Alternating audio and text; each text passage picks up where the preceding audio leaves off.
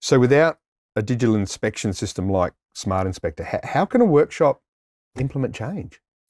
Well, they could try and do it manually, taking photos on a workshop's phone, yeah. um, then having to email those to the office to then append and copy and paste to, to a job card retyping out all those manual notes, understanding the scribbles, um, making sure that you've got formatted language. Yeah, it hurt well. my brain already. It's it's a lot yeah, of extra work, yeah. and then it's a case of getting it to the customer too. Mm. You've got to make sure that in a format. Can, yeah, and and something that they can read and understand, and it gives them confidence before they've come back to the workshop. It's not a case of them coming back to the workshop clenching or being, being ready for bad news, you can send mm. it out to them halfway through the day and say, car's fine, it's great. And that customer's coming in the afternoon when it's busy in that workshop and they've they can ask their questions beforehand. It's it's really helpful to just pass the information. Just go back a second there because we talked about giving it to the client and the client is the end user. They they digest and their perception is reality.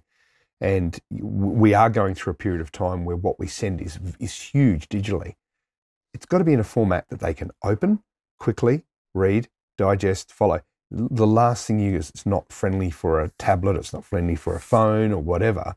They're only going to get frustrated. Yep. And they need the right information there and then. And there's nothing worse than that cringe at the service desk, is oh, there? yeah. No. And it comes, so Smart Inspector puts everything into a PDF that can be emailed, it can be looked at on smartphones. And it's a locked document? It's a locked document so you can see, and it's also formatted so you've got here are the key things that we need to talk to you right at the top. So you can see oh, okay. here's the urgent stuff, here's the, the recommendations, but then here's the full detail of everything else that we've done to the car, and then references to all the images or the extra information that you need to know. So all the details, all the notes formatted and so they can see it really cleanly and understand it without having to ask heaps and heaps of questions.